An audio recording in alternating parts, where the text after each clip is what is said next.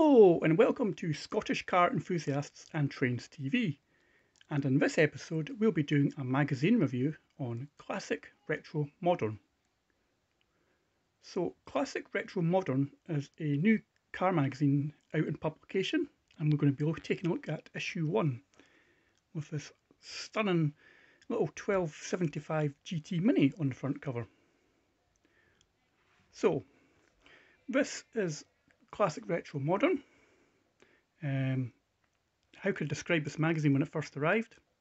Today, it feels like, and it feels and looks like a sort of 1970s style magazine. Um, just the sort of feel to it. Um, so that's quite that's quite pleasing to say the least. Um, and as we start on the first page, as we open up the cover, we have a 1970s style um, poster uh, for Dunlop Sport S SP radio with a Triumph Stag. So here we go, this is just the editor's page. So into the contents page we've got um, starting off at the top left hand corner is Steph Holloway from iDriver Classic, an interview with Steph. Then we have a Ford Cortina Lotus, a MGC Roadster, Fiat Panda Mark 1, Mini 1275 GT, another interview of Tom Karen, Citroen GS at 50, the Maserati Biturbo, and in the bag, which I'm guessing will be about the airbag. Then we've got some more contents here. Things like kicking tyres, clubs and events.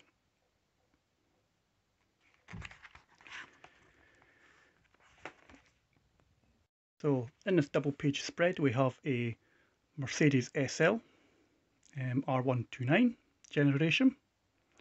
Um, apparently it really raised the bar and that's due to its um, anti is it with its roll bar. Um, a sensor would obstruct the bar would instruct the bar to pop up in just 0.3 seconds if the car rolled.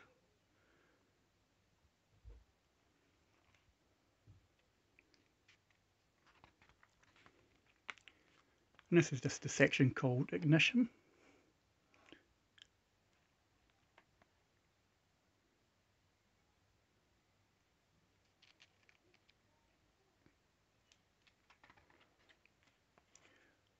So, old news this month in 1971. Um, Triumph recalled the Toledo in 1500 because of faulty axle casings. 1981, Pamford introduced perhaps the strangest clause ever into its new car warranty.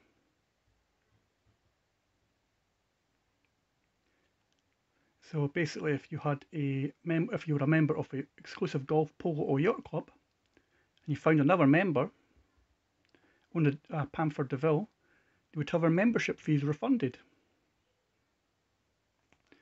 In 1991, um, Vauxhall was the first car company to tell the UK about the level of discounting undertaken by its dealers. So anyone in the market could expect a new Astra L could expect to see 13.7% knocked off the asking price cutaway cars.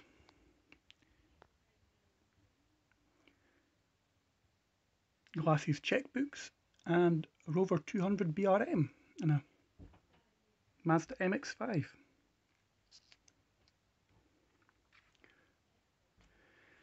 So this section is dedicated to hot dates. So this is uh, car events coming up. So for example, this picture here is the Festival of the Unexceptional, which is happening later in the month, um, sponsored by Hagerty. Um, so if you've got an unexceptional vehicle or a vehicle you don't really see anymore, then this is perhaps the event for you. Why not check out on uh, Google Festival of the Unexceptional. You got the VBO, VBOA Rally. Now, I think that's actually just been this past weekend. So you've got multi-mark events.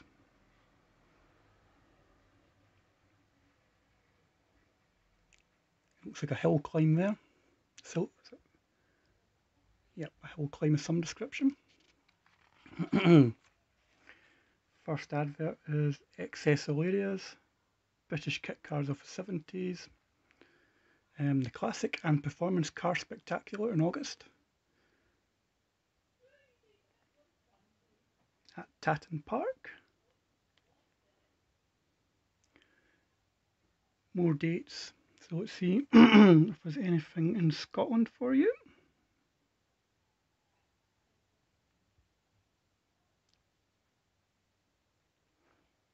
There's nothing in Scotland at the moment. Into the next section, which is Shed 7. So you got MG at 1970 Daytona 24 hours. You got the Coing XJS.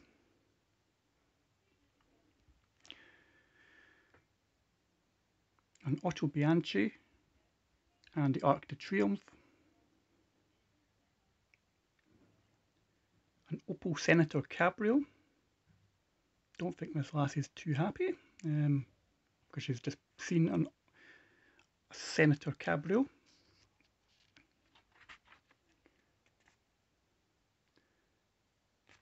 Citroen SM in 1970 at the Geneva Motor Show.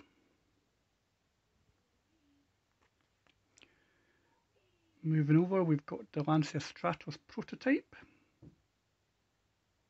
at the top there.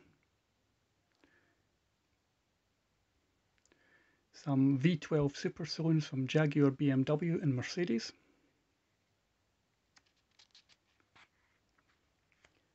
Market Insight, so this is a buying guide for a Jaguar E-Type.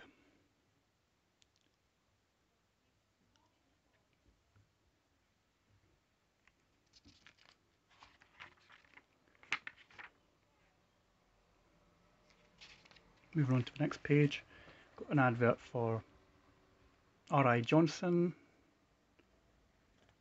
um, power steering systems, light steer. Martin Robey Group for Jaguar and Daimler. Um, flexible finance to Credo's classical services. So I think if you're looking to buy a classic car, then you'd be able to get a good finance deal on it. Uh, if you're looking to buy a Vauxhall Calibra. you probably their advice is to buy one now before they're all gone.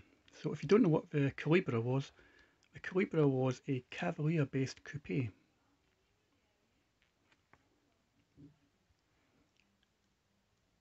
There you go, a Calibra for you.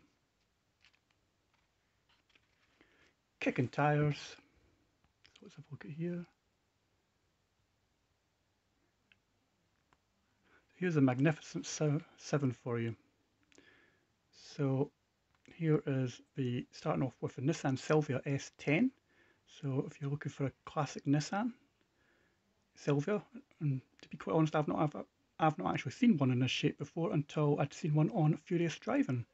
And this example was on Furious Driving's YouTube channel. Then we've got Honda's little CRX. Moving down. The Lancia Trevi.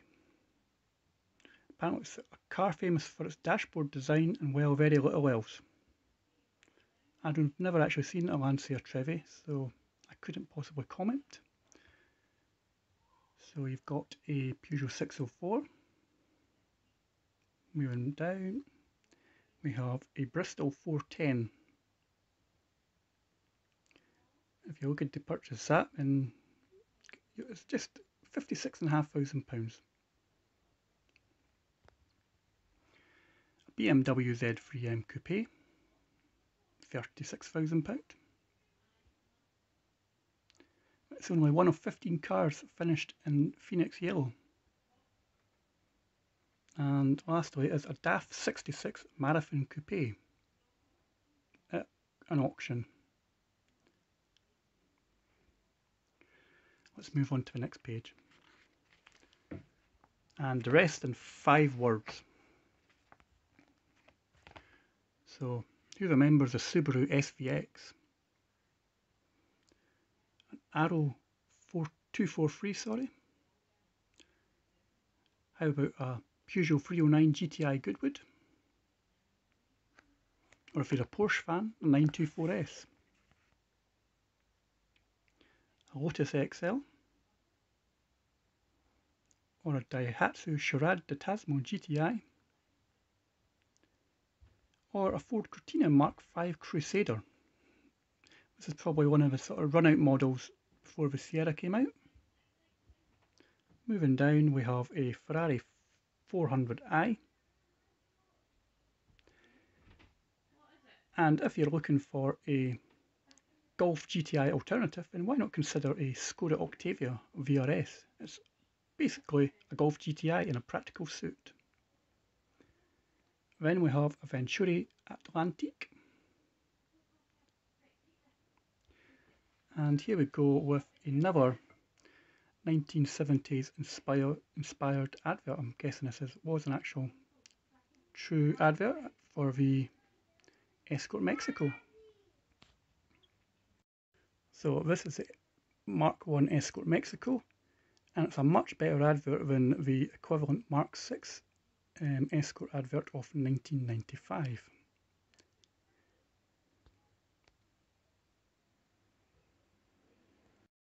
Then we have our first interview with Steph Holloway of iDriver Classic.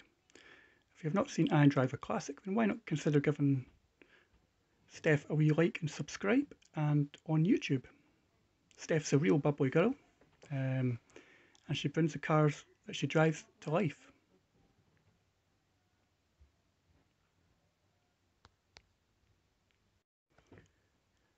And for one of Steph's videos that she done one of her subscriber milestones was that she actually got to drive Mr. Bean's Mini. Moving on to the next page, we have an advert for Champion Spark Plugs. The world's favourite spark plug fitted exclusively to all British Leyland cars. Why settle for less in your car?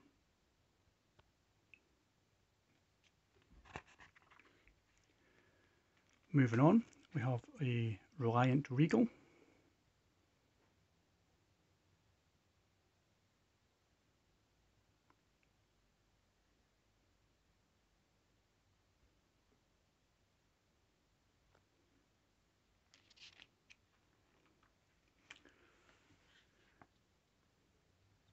Next we have a,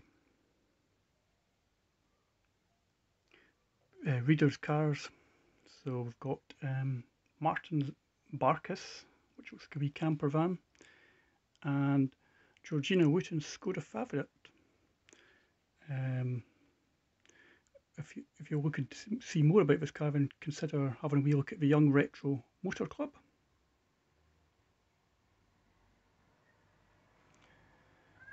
An advert for Poor Boys um, car cleaning equipment.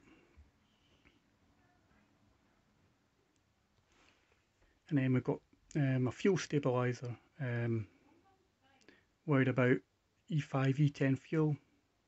This might be the stuff for you to consider putting in your car. Next, next up we have Andy and Lynn's Triumph TR2 and TR4.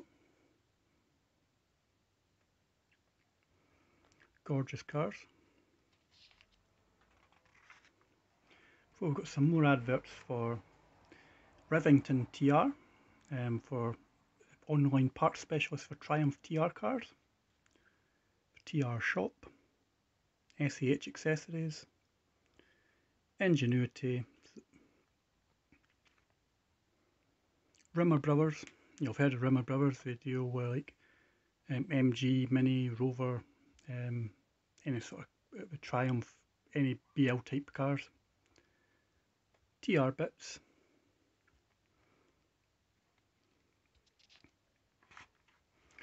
Then we have a modern classic, which is the Mark V Golf GTI.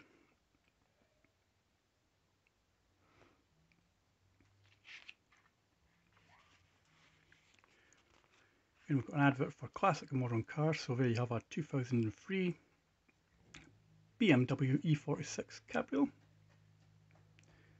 followed by a Jag XK 5 litre Heritage, an Audi A5 Cabrio, Mercedes SL 500, Porsche 986 Boxster,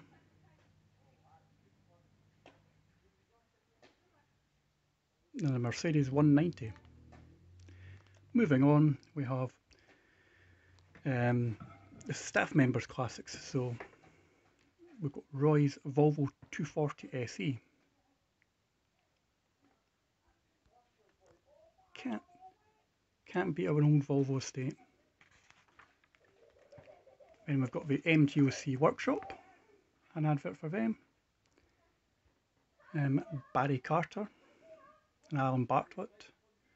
So if you're looking for a 1964 MGB, Citroen 2CV, MGA road race car,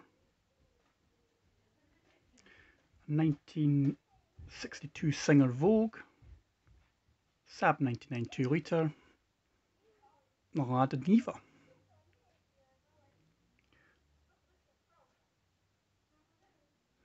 And also, if you're looking for a Lada Niva, check out the Late Brake Show, recent road test. Um, and here you can basically buy a new Lada Niva, um, import them, and have some fun in them. Just like the Late Brake Show did, where he nearly drowned the thing.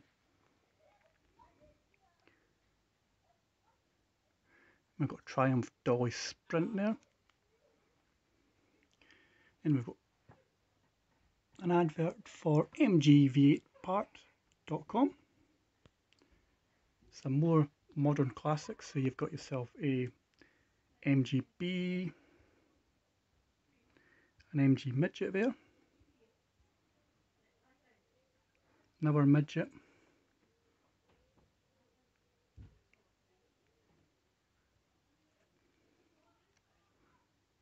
An MG RV8 the more uh, MG's um, modern approach to the MGB. And here we have an MGB. Gorgeous cars of MGB.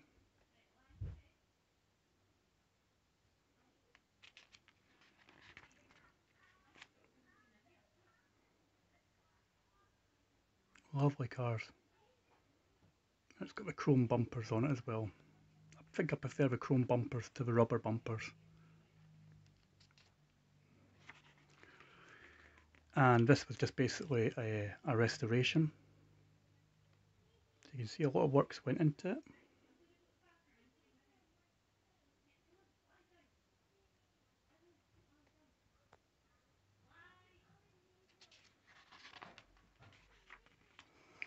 More adverts for motor wheel services. Um, so you, if you're looking for restoration of wire wheels, then um, this company might be of use. More car restorations. The MG Owners Club. Andy's Auto Restorations. Manor Garage and Sons. Classic Retro Modern, if you're looking to advertise. Car Kettle and Car Fry. And you've got an advert for High Gear, if you're looking to have a, a five speed gearbox conversion into your MGs.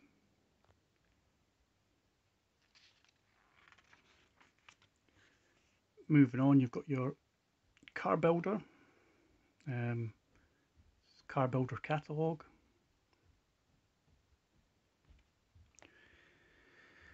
And if you're looking for a private registration, then here we go for your modern, for your classic uh, or your modern classic. Then we have uh, the Mini 1275 GT.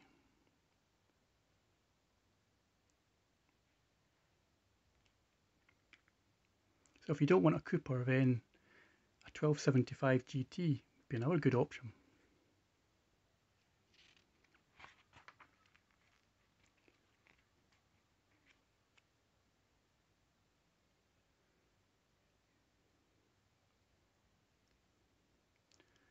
and there is the British Leyland plug hole of despair logo that many people seem to call it.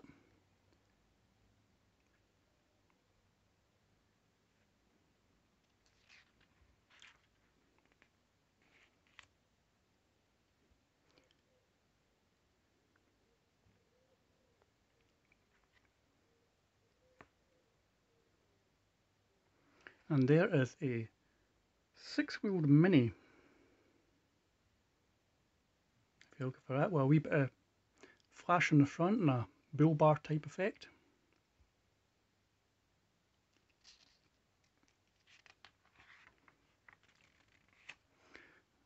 Twelve seventy five GT and Richard Longman's twelve seventy five GT racers.